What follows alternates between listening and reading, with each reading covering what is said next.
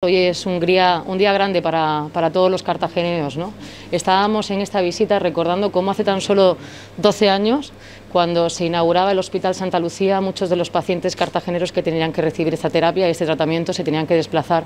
a otros hospitales de la región. Y hoy lo que estamos celebrando es que somos el complejo hospitalario con los dos hospitales, el de Santa Lucía y el del Rosell, que tiene a disposición de todos los ciudadanos de la región de Murcia, porque tenemos disposición de atender a otros pacientes del resto de la región, a esas personas que necesiten el tratamiento con la última tecnología, la más avanzada y que es un ejemplo eh, este hecho con las imágenes que valen más que mil palabras de que el Rosell está a pleno rendimiento, al 100%, ofreciendo diferentes servicios.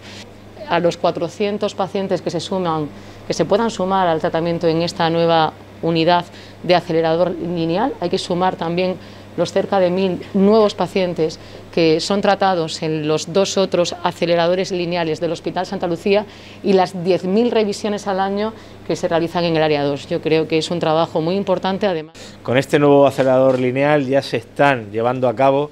técnicas mucho más innovadoras y desde luego a mí me gustaría hoy destacar que es el acelerador lineal más moderno de la región de Murcia y que está precisamente aquí en Cartagena lo que se está consiguiendo es eh, poder desarrollar y poder, eh, poder suministrar, poder dar tratamientos a patologías que requieren, como digo, eh, pues de tratamientos de alta precisión, de precisión milimétrica, como nos han podido explicar. También estamos consiguiendo con, con este nuevo servicio, con esta nueva tecnología, lo que estamos consiguiendo es que esos tratamientos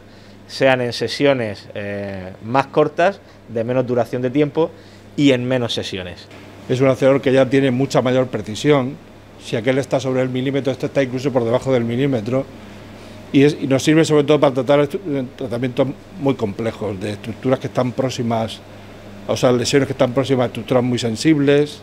o incluso tratamientos que utilizamos de lo que llamamos terapias ablativas, es decir, dosis muy altas eh, administradas en muy, pocos, en muy pocos días, en un día, en tres días o en cinco.